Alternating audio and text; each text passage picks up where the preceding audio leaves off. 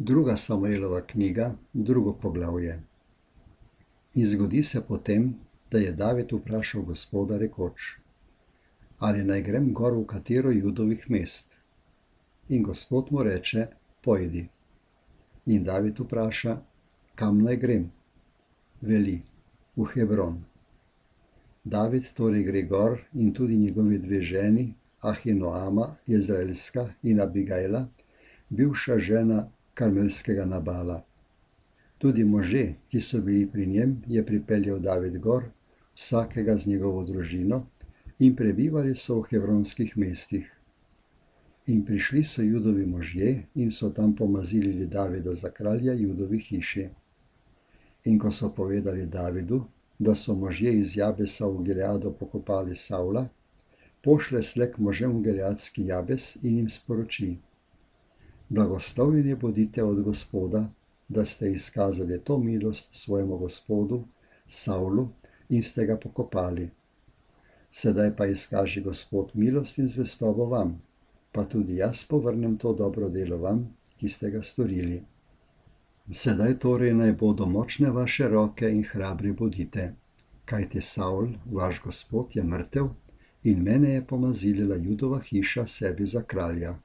Abner pa, Nerov sin, poveljnik Savlove vojske, je vzel iz Boseta, Savlovega sina, ter ga prepeljal v Mahanajm in postavil za kralja nad Gileadom in nad Asurskimi in nad Jezreelom in Efraimom in Benjaminom in nad vsem Izraelom.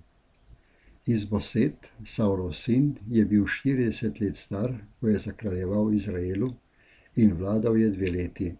Samo judova hiša je šla za Davidom. Časa pa, ki je v njem kraljeval David v Hebronu, judovi hiši, je bilo sedem let in šest mesecev. In Abner, Nerov sin, je odrinil s hlapci iz Boseta, Savlovega sina, iz Mahanajma v Gibeon. Tudi Joab, Zervijin sin in Davidovi hlapci so odrinili in so se srečali pri ribniku Gibeonu. In sedejo eni na oni strani ribnika, drugi pa na tej strani ribnika. Abner pa reče Joabu: Vstanejo naj mladeniči in igrajo boj pred nami. In Joab reče: Naj vstanejo. Tedaj vstanejo in nastopijo po številu: dvanajst za Benjamina in za izboseta, Savlovega sina, in dvanajst iz Davidovih hlapcev. In zgrabi vsak svojega nasprotnika za glavo in mu zasadi meč v stran in popadajo skupaj. Zato se tisto mesto imenuje Helkat Hazorim, ki je v Gibeonu. In vnel se je zelo trd boj tisti dan in Davidovi hlapci porazijo Abnerja in Izraelove može. Bili so pa tam trije sinovi Zervije, Joab in Abisaj in Asahel. In Asahel je bil lahkih nog, kakor katera izmed srn, ki žive na polju. In Asahel je podil Abnerja in se ni obrnil ne na desno, ne na levo, tekoč za Abnerjem. Tedaj se ozre Abner in reče: Ali si ti Asahel? Odgovori: Sem.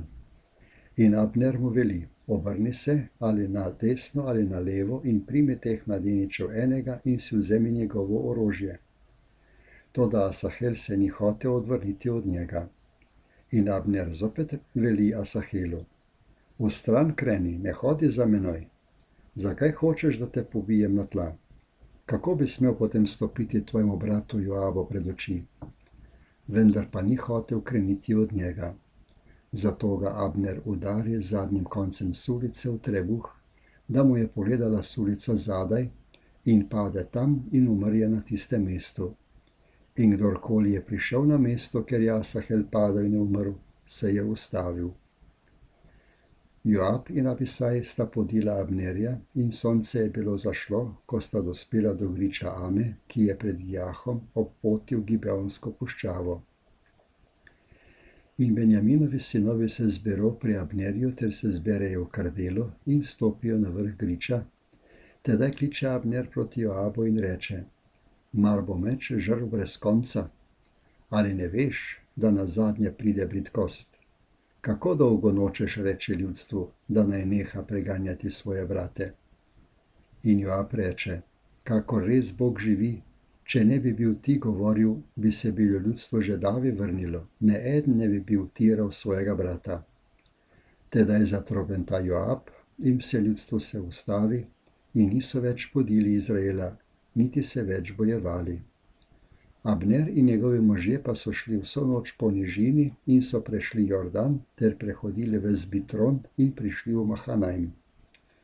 In Joab se vrne od Abnerja in ko je zbral vse ljudstvo, je manjkalo izmed Davidovih hlapcev 19 mož in Asahel. A Davidovi hlapci so pobili iz Benjamincev in iz Abnerjevega moštva 360 mož, ki so umrli. In so vzdignili Asahela in ga pokopali v grobu njegovega očeta v Betlehemu.